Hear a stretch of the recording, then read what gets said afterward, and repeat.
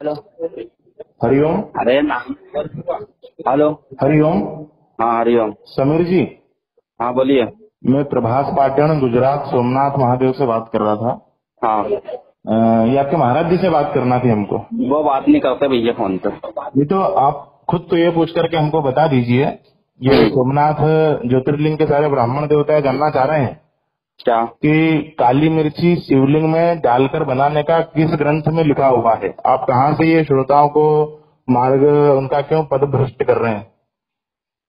Hello? Hello? जी भैया राधे राधे। जी भैया हरिओम। मैं यहाँ प्रभास पाटण सोमनाथ से बात कर रहा था गुजरात से। जी भैया जी। जी ये मिश्रा जी ने जो बताया है कि पार्थिव शिवलिंग निर्माण में काली मिर्ची के चूर्ण का प्रयोग किया जाना चाहिए। जी।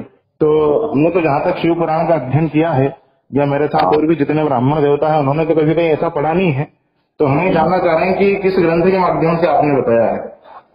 मैं गुरु जी से बोल दूँगा आज तो वह कथा में ये चीज़ बता देंगे।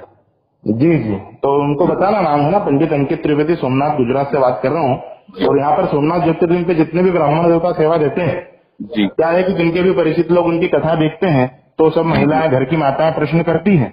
जी जी सही बात तो है कहना कहना उनका पंडित जी का ऐसा कहना था कि हम्म। आपको व्यासपीठ पर बैठ करके धर्म का रक्षण करना चाहिए भक्षण नहीं करना चाहिए। जी जी। है ना? महादेव ने इस योग्य बनाया है तो उसका गलत फ़ायदा नहीं उठाया नहीं तो उसके परिणाम बुरे भी हो सकते हैं। जी जी। है ना? आप कौन बात कर रहे हैं? क्या शुभ नाम आपका?